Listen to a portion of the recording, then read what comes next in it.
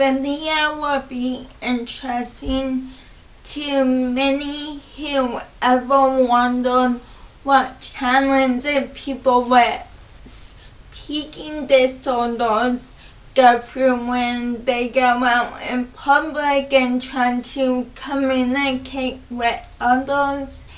And it might also be interesting to those who have a speech disorder we might have experienced some of the same things. My speech and one of the fourteen people know this about my disability. And once I got a comment saying my cousin has cerebral palsy and he talked perfectly normal why in those pizza then.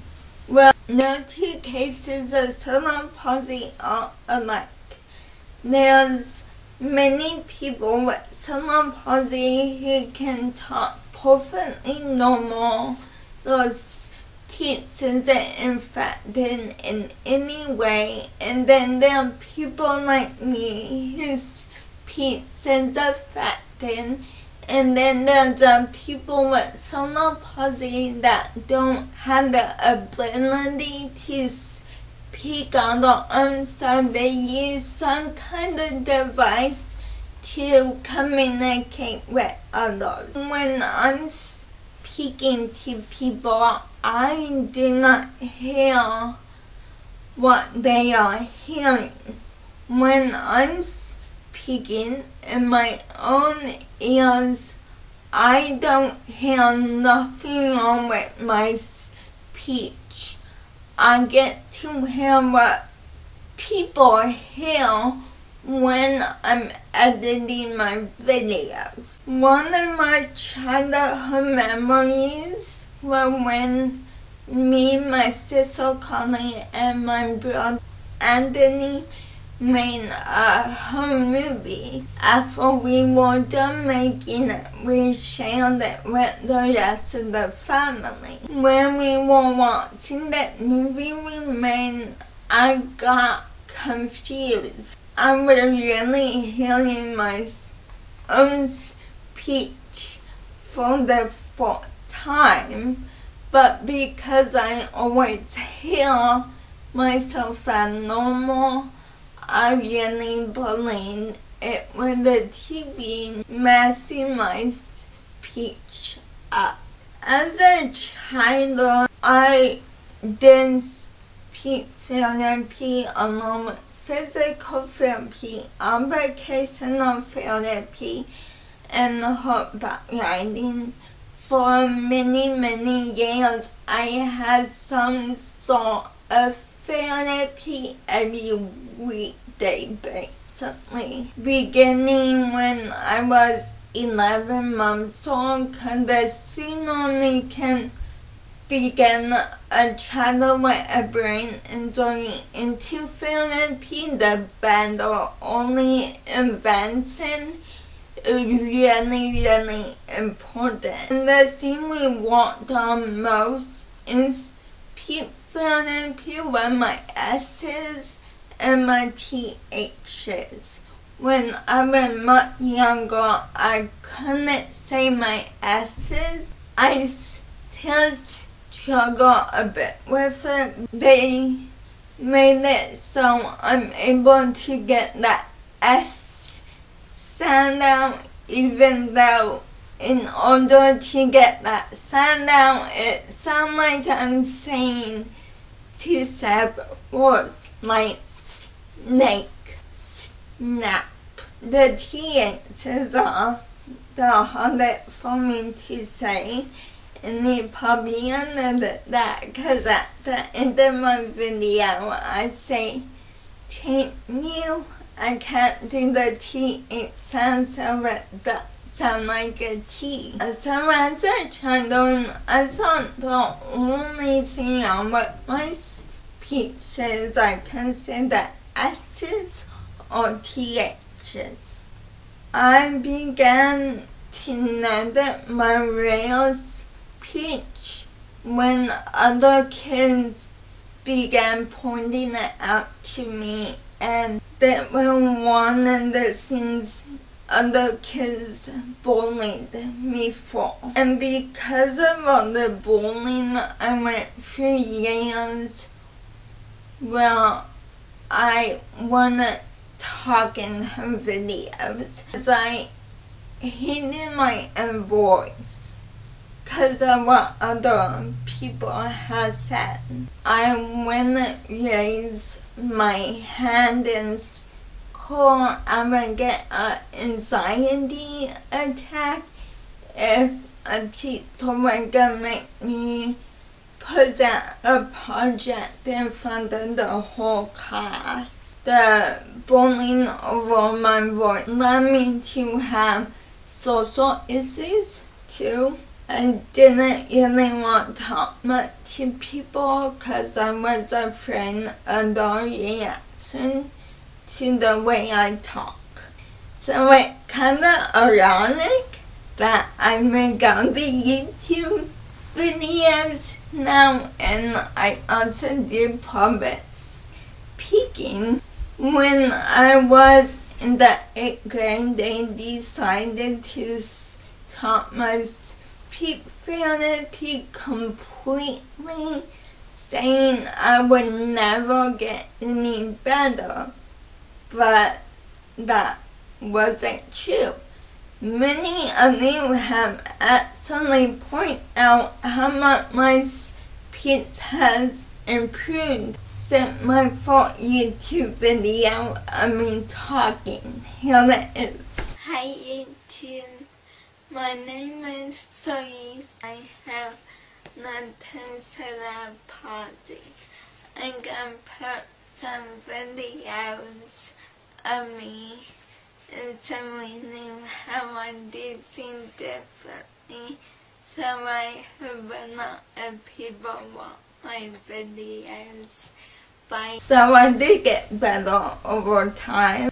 That way until people to always keep up that someone might say they won't be able to do this or they won't get any better, but that isn't always the truth. When I began my YouTube videos, I had a hard time adding the subtitles because I didn't understand everything I said. When I was younger, my siblings were kind of my translator. If someone didn't understand what I was saying, they would repeat what I said. When I struggled with upsetting my speech, I hated repeating myself.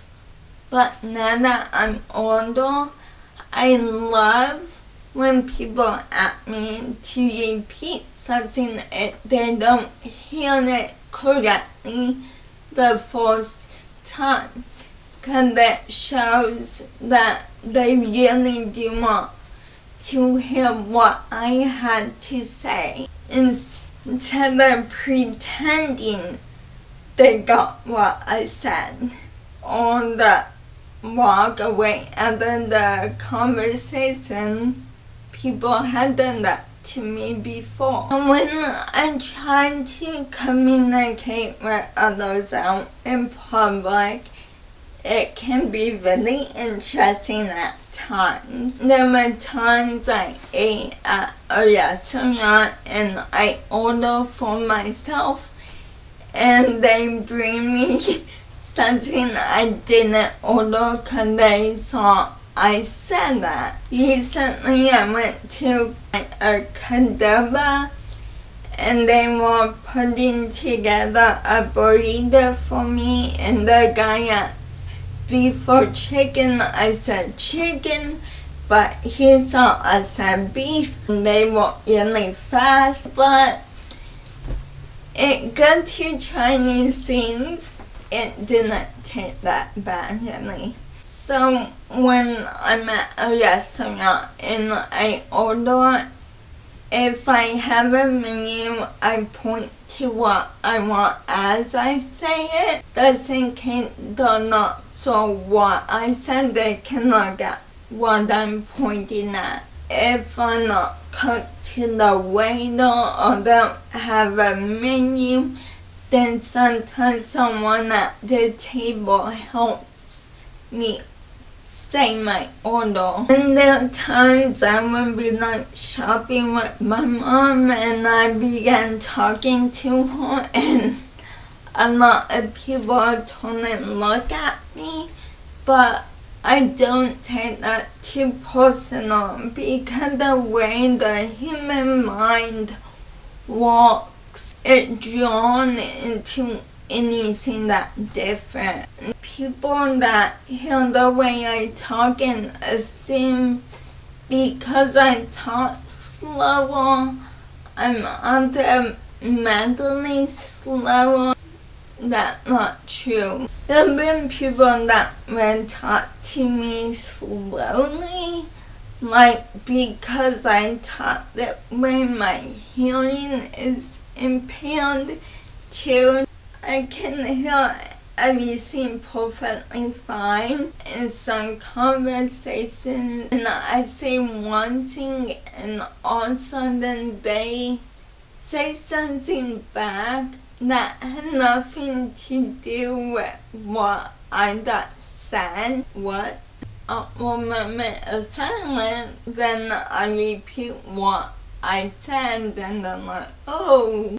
Even though my family members are pretty to my speech because they've been around me so long, there are still times where I had to repeat myself to them. I do have a story of how my speech made me the perfect fit to do something really cool and big. And when I perform or I'm in front of a camera, I feel my best.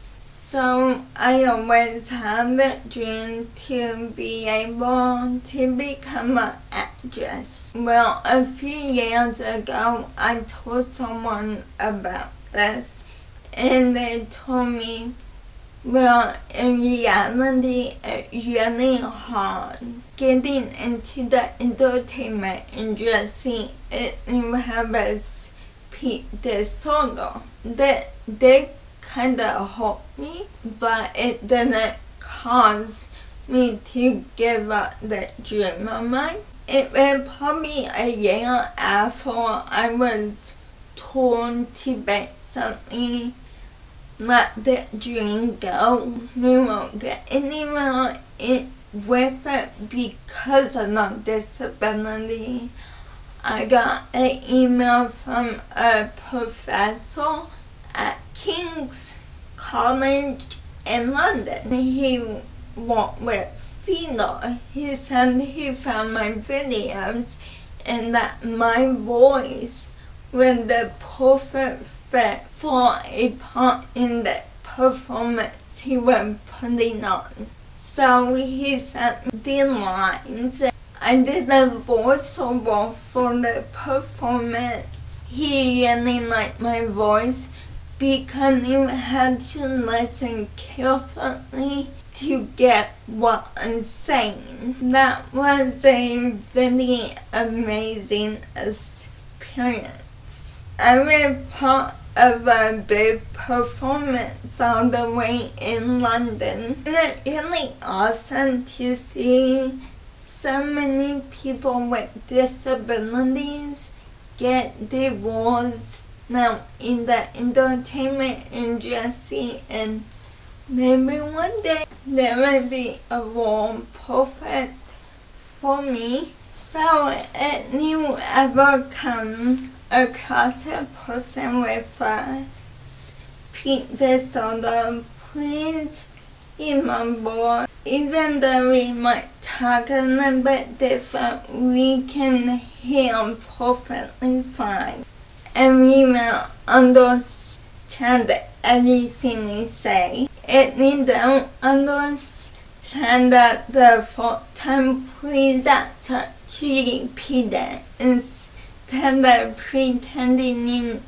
know what we said. Everyone wants the voice to be heard correctly. Please don't be afraid of talking to those with speech disorders. And please don't finish those sentences for us. Thank you so much for watching. Bye.